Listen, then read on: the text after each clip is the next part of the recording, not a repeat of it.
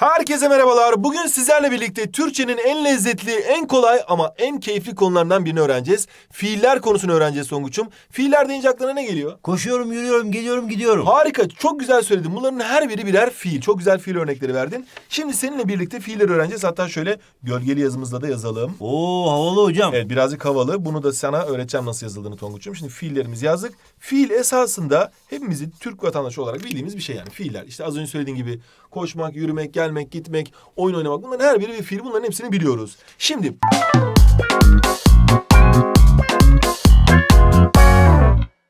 Bugün fiillerle alakalı öncelikle şunu bilmemiz lazım.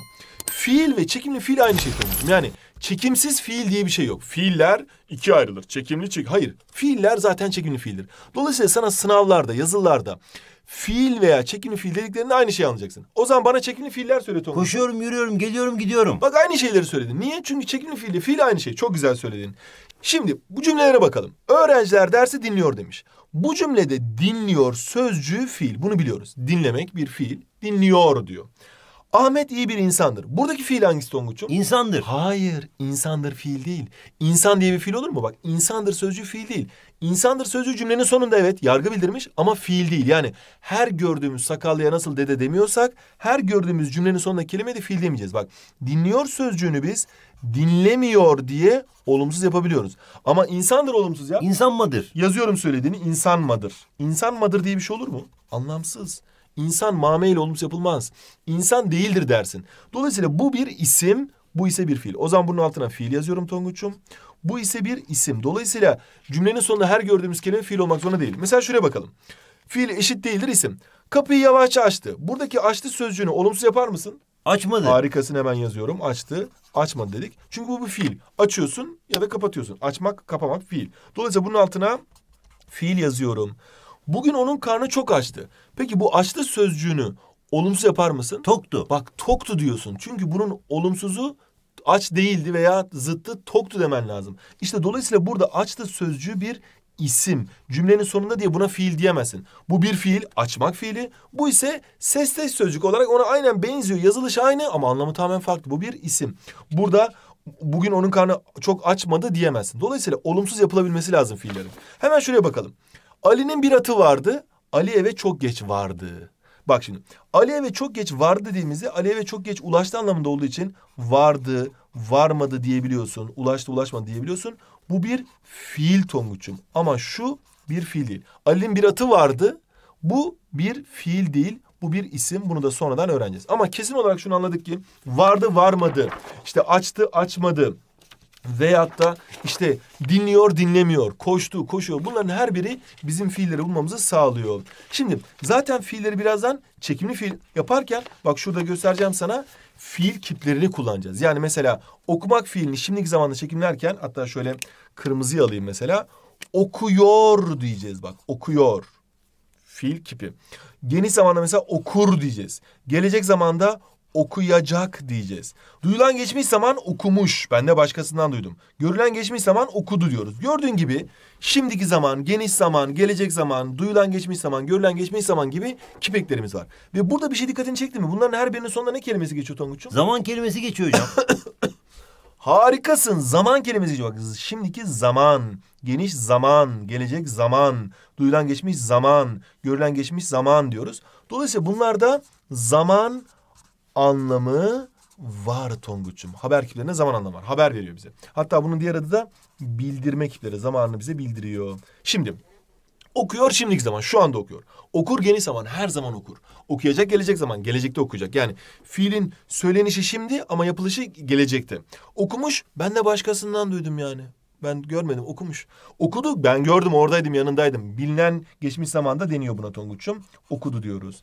Şimdi bu kırmızılar o zaman neymiş? Haber kipi. Harikasın haber kipi. Şimdi gel bir de e, şeyle de maviyle de şeyleri yapalım. Mavi hatta tam olmayacak yeşil yapalım. Yeşille de dilek kipleri yapalım. Bunların sonu nasıl bitiyor bak Tonguç'um? Kipi kipi kipi diye bitiyor hocam. Kipi kipi diye bitiyor. Zaman zaman diye bitiyor. O zaman bunlarda zaman anlamı yok diyeceğiz Tonguç'um. Bunlarda zaman anlamı belirsiz. Gereklilik mesela okumalı. Ne zaman okumalı? Şimdi de okuyabilir, yarın da okuyabilir, her zaman da okuyabilir. Bana ne? Okumalı sadece. Dilek ya da şart kipi, dilek şart kipi okusa. İstek kipi mesela okuya ya da okuyayım ya da okuyalım denir. Burada şahıs eklerini şöyle siyahla getirmek istiyorum. Bak okuyalım, okuyasın, okuyayım diyorsun. Bunlar hep siyahlar şahıs eki. Buna dikkat et yani. Burada yeşiller kipi eki. Okuda emir kipi. Emir kipinin eki yok. Şimdi o zaman yeşillerimiz dilek kipleri, kırmızılarımız haber kipleri dedik. Dilek kiplerine, dilek kiplerinde şunu bilmemiz lazım ki belirgin bir zaman anlamı yok. Okumalı, okusa, okuyalım, okuyasın gibi. Şimdi siyahla yazdıklarımın ise şahıs eki olduğunu söyledik. Bak okuyor şimdiki zamanda mesela birinci tekil şahısta ben okuyor diyebilir misin? Diyemem. Onun yerine ne diyorsun? Okuyorum diyorsun mesela. Veya okurum ya da yazacaksın, sen yazacaksın. Okumuşlar, onlar okumuşlar. Okuduk, biz okuduk diyorsun. Yani bunlar hep siyahlar kipeki. Mesela e, biz yani birinci çoğul şahısta e, okumalıyı söyler misin Tonguç'um? Biz okumalıyız. Harikasın. Biz okumalıyız diyorsun mesela. O zaman bunu hatta şöyle şurada gösterelim. Şimdi bir fiil söyle bana Tonguç'um. Sev hocam. Harikasın. Sev fiilini yazıyorum bak. Sev, sev. Hepsine sev yazıyorum her yere. Niye? Çünkü sevmek istiyoruz. Bunlar haber kipleri olsun. Şunlar da ne olsun? Ee, yine dilek kipleri için buraya yazıyorum. Sev, sev, sev diye. Şimdi ben söyleyeceğim sen yazacaksın. Ekranları başındaki arkadaşlarımız da yazmaya çalışacaklar. Haber kiplerine HK demiştik ve kırmızıyla göstermiştik. O zaman şimdiki zamanda söyle bakalım. Ee, sev fiilini. Seviyor. Harikasın. Seviyor diye söyledik. Seviyor. Ee, gelecek zamanda sevecek. Geniş zamanda sever. Duyulan geçmiş zamanda sevmiş. Görülen geçmiş zamanda da sevdiği. Ama bunların her biri üçüncü tekil şahıs. O seviyor, o sevecek, o sever, o sevmiş, o sevdi diyor. Peki biz bunları birinci tekil şahısla çekilmeyecek olursak ne diyeceğiz mesela? Şahıs eklerinde pembişle yazalım. Seviyorum, seveceğim, severim, sevmişim, sevdim deriz. Mesela seveceksin dediğimizde sen seveceksin oluyor. Severiz dediğinde biz severiz oluyor. Sevmişler dediğimizde onlar sevmişler oluyor. Sevdik dediğimizde biz sevdik oluyor. O zaman bu pembişler şahıs eki. O zaman bunları yazalım. Birinci tekil şahıs var. Ee, ikinci tekil şahıs var. Üçüncü tekil şahıs var. Hemen bunları yazalım. Birinci tekil ben, ikinci tekil sen, üçüncü tekil o. Bir de birinci çoğul şahıs var. ikinci çoğul şahıs var. Üçüncü çoğul şahıs var. Bunları hemen söyler misin Tonguç'um? Biz, siz, onlar. Harikasın tebrik ediyorum. Biz, siz, onlar. Üçünü de çok güzel söyledin. Şimdi ben, sen, o, biz, siz, onlar. Şimdi sevmek fiili şimdiki zamanda şekillenmiş. Um, seviyorum yani ben seviyorum yani birinci tekil şahıs. Seveceksin, sen seveceksin yani ikinci tekil şahıs. Şimdi gelelim buraya. Bir de dilek kipleri vardı. Dilek kiplerinin eklerini de yine kırmızıyla gösteriyorum kafa karışmasın diye. Sevmeli, sevse, seve, sev diyoruz. Bu emir kipi olduğu için bunun eki yok. Şimdi burada yine şahıs eklerini getiriyorum bak. Sevmeliyim, sevsem, seveyim diyorsun. Ama birinci tekil şahısta emir kipini kullanamıyorsun. Yani insan kendine emir veremez. İnsan yani kendine nasıl kendine emir veremeyeceğin için burada sev, sen sev diyorsun. Şimdi o zaman şunu anlamış olduk. Pembişler neymiş Tonguç'um? Şahıs eki. Harikasın. Pembişler şahıs eki. Kırmızılar ise kipekleri. Bunlar haber kipleri, bunlar da dilek kipleri. O zaman haber kiplerinde belirgin bir zaman anlamı var. Ama dilek kiplerinde belirgin bir zaman anlamı yok. Haber kipleri şimdiki zaman yor, geniş zaman re, gelecek zaman ecek acak, duyulan geçmiş zaman miş, görülen geçmiş zaman da di. Dilek kipleri gereklilik kipi melimalı, şart kipi dilek şart kipi sesa, istek kipi ae, bak buraya dikkat et bu kafa karıştırır. Hatta buraya yıldızla koyuyorum. Emir kipi de zaten kipeki yok. Oku, okusun diyorsun. Onlar e, kipeki değil. Şimdi şahıs eklerini görmüş olduk. Bir de bunların olumsuzluğu bir de sorusu var. Olumsuzluk ve sorusuna da bakalım. Mesela başladı diyor. Bu görülen geçmiş zaman şekillenmiş. Bunun sorusu ne olacak? Başladı mı olacak? Olumsuzu başlamadı olacak. Olumsuz sorusu da başlamadı mı olacak? Yani bu kadar basit. Başladı olumlu. Başladı mı? Soru. Başlamadı. Olumsuz. Başlamadı mı da olumsuz soru oluyor Tonguç evladım benim. Şimdi şimdi fiil tiplerine tekrar döneceğiz ama bir de fiillerde anlam denen bir kısım var. Bunu ilk başta öğretiyor hocalar. Ben buraya da değinmek istiyorum. Şimdi en başa bir daha dönecek olursak fiillerimiz genellikle cümlenin sonunda oluyor. Olumsuzluk iki alabiliyor. Cümlenin sonunda olan her şeyde fiil olmuyor. Bak bu açtı bir fiil kapıyı açmak gibi ama bu aç açlık olduğu için isim.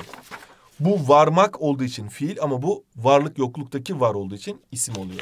Şimdi fiillerde anlam ise en lokuma en kolayı. Şimdi fiillerde anlamda üç tane fiil çeşidimiz var. Bir iş kılış fiilleri var. bir durum fiilleri var. Bir de oluş fiilleri var. İş kılış fiillerinde Tonguç'um fiil nesne alabiliyor ve yanına onu sözcüğü getirilebiliyor. Mesela onu istedi diyebiliyor musun? Diyebiliyorum. Onu bıraktı diyebiliyor musun? Diyebiliyorum. Onu tanıyor diyebiliyor musun? Bu Diyebiliyorum. kadar bak hepsine diyebiliyorum dedin. Demek ki onu istedi. İşte kitabı istedi. Kardeşini bıraktı. Ali'yi tanıyor diyebiliyorsun. Yani onu istedi, onu bıraktı, onu tanıyor diyebiliyorsun. Kılıç fiillerinde fiil nesne alabiliyor. Nesne öznenin yaptığı işten etkilenen öge. Mesela hoca kalemi bırak dediğin zaman kalem nesne olmuş oluyor. Yani onu kılıyor dersin ya mesela namazı kılıyor deriz. Aynı onun gibi. Onu kılıyor diyebildiğine göre burada kılıç fiili. Peki onu duruyor diyebilir miyiz Tonguç'um? Diyemeyiz. diyemeyiz. İşte durum fiillerinin yanına onu getirilemez ve bunlar nesne alamaz. Yani onu yürüdü, onu oturuyor, onu ağlamış diyemezsin. Neyi yürüdü, neyi oturuyor, ne bu olmaz. O zaman yanına onu getiremediklerimiz durum fiili, onu getirebildiklerimiz yani onu kelimesinin yanına getirebildiklerimiz ise ne oluyor? Kılıç fiili, iş fiili oluyor. O zaman soruyorum sana. Seviyor. Kılıç fiili mi, durum fiili mi? Kılıç fiili. Harikasın onu seviyor diyebildiğimize göre kılıç fiili. Peki e, uyuyor. Kılıç fiili mi durum fiili mi? Bilemedim hocam. Ya iki dakikada bilemedim diyorsun bak. Ekranları başındaki arkadaşlarımız bildiler bile bak. Onu uyuyor diyemediğimiz için bu durum fiili bak. Bu kılıç fiili onu seviyor diyebiliyoruz. Ama bu durum fiili. Niye? Onu uyuyor diyemiyoruz. Bu kadar dikkatli bir şekilde olduğumuz yapabileceğimiz bir şey. Zaten bunlarla alakalı sorular da çözeceğiz. Hepsini pekiştireceğiz. Oluş fiilleri ise bir de üçüncüsü var. Oluş fiilleri ise öznenin geçirdiği değişimi bildiriyor. Yani büyümek, uzamak, sararmak, kızarmak, morarmak gibi bak. Çocuğunuz epey büyümüş. Bak çocuk büyüyor. Yapraklar sarardı. Yaprakların rengi değişiyor. Saçlarım ağarıyor. Saçlar siyahtan beyaza dönüşüyor. Yani uzamak, büyümek, küçülmek bunların her biri fiziksel bir değişim bildirdiği için bunlara oluş fiili diyoruz. Şimdi fiil kiplerine geri döndük. Fiil kiplerimizde haber kiplerinde zaman anlamı var mıydı? Vardı. Harikasın. Dil ekiplerinde zaman anlamı yoktu. Şimdiki zaman yor, geniş zaman re, gelecek zaman ecek acak, geçmiş zaman duyulan geçmiş zaman miş, görülen geçmiş zaman di dedik. Gereklilik kipi melimalı, dilek şart kipi sesa, istek kipi ae ama dikkat edelim dedik. Emir kipi de okul. Şimdi emir kipi de daha doğrusu eki yok yani. Şimdi burada bir şey söyleyeceğim sana. Bakalım bunu yapabilecek misin Tonguç'um? Kitabı keşke okusa demiş. Şimdi burada sence istek anlamı var mı? Var hocam. İstek anlamı olabilir. Beni ilgilendirmiyor. Burada oku sesa dediği için sen buna istek gibi diyemezsin. Diyeceksin ki burada sesa var. O zaman bu dilek şart gibi diyeceksin. Yani anlamından ziyade aldığı eke bakacaksın. Bak, okusa diyor. Ay keşke okusa. Hayır beni ilgilenmez. Ne derse desin. Sesa varsa bu dilek şart gibi diyeceksin. Bu çok çok önemli sonuçum. Buraya dikkat etmelisin. Yani aldığı kipe göre değerlendireceksin. Şimdi olumluluk olumsuzluk soruya da bakmıştık. Bir de anlam kayması var. Bu da çok lezzetli bir şey. Çok güzel bir şey. Fiilin çekimlendiği kipten farklı bir anlam taşımasıdır. Mesela yarın sinemaya gidiyoruz demiş. Yarın dediğine göre esasında burada yarın sinemaya gideceğiz demek istiyor. Yarın sinemaya gideceğiz deyip gidiyoruz yazdığına göre burada demek ki ne var Tonguç'um? Burada bir anlam kayması var. Fiil şimdiki zamanla çekimlenmiş ama gelecek zaman anlamı taşıyor. Her sabah süt içiyorum bak. Her sabah diyor ama yor şimdiki zaman kullanmış. Esasında her sabah süt içerim demek istiyor. Yani her sabah ifadesi, bak her sabah ifadesi normalde geniş zaman için kullanılır. Her sabah kitap okurum, her sabah yüzerim ama her sabah süt içiyorum demiş. Şimdiki zaman için kullanmış. O zaman her sabah süt içiyorum derken her sabah süt içerim demek istiyor. Burada da anlam kayması var. Mesela şunlardan beraber öğrenmeye çalışalım. Okula gidiyorum dediğinde gerçekten gidiyorum diyor. Dolayısıyla burada anlam kayması yok. Yarın okula gidiyorum dediğinde yarın okula gideceğim demek istediği için anlam kayması var. Bu arada anlam kayması bir anlatım bozukluğu, bir yazım hatası değildir. Türkçenin bir zenginliğidir Tonguç'um. Her sabah okula gidiyorum. Bak her sabah okula giderim demek istiyor. Atatürk 1919'da Samsun'a gidiyor. Atatürk 1919'da Samsun'a gitmiş demesi lazım. Çünkü geçmişte yaşanmış bir olay. Gelecek hafta sana uğrarım. Bak uğrarım geniş zaman. Ama uğrayacağım anlamında kullanmış. Dolayısıyla burada da anlam kayması var. Tonguç evladım benim. O zaman fiilin çekimlendiği kipten farklı bir anlam taşımasına da anlam kayması diyoruz. Şimdi bir de bileşik zamanlı fiiller var. Bunu da anlatalım. Ee, birazcık konuları ilerletmiş oluyoruz ama bunu da öğrenmelisin ki e, ileride gördüğü zaman kafan karışmasın. Şimdi basit çekimli fiiller mesela geliyor şimdiki zaman. Öyle değil mi? Mesela iste fiilini bana e, duyulan geçmiş zamanda çekimle. İstemiş. Harikasın. İstemiş. Ben de başkasından duydum diyorsun. İstemiş. Çok güzel. Peki bakmak fiilini sizler de ekranları başında cevaplamaya çalışın arkadaşlar. Bakmak fiilini e, ne yapalım mesela?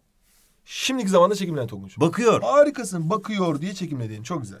Geliyor şimdiki zaman. istemiş, duyulan geçmiş zaman. Bakıyor şimdiki zaman. Bunlar basit çekimli. Bunlarda sadece bir tane kipeki var. Şimdi bileşik çekimlerde ise şunlar var zaten. Bu mişler, yorlar var. Artı bir de şöyle şeyler var bak. Geliyordu.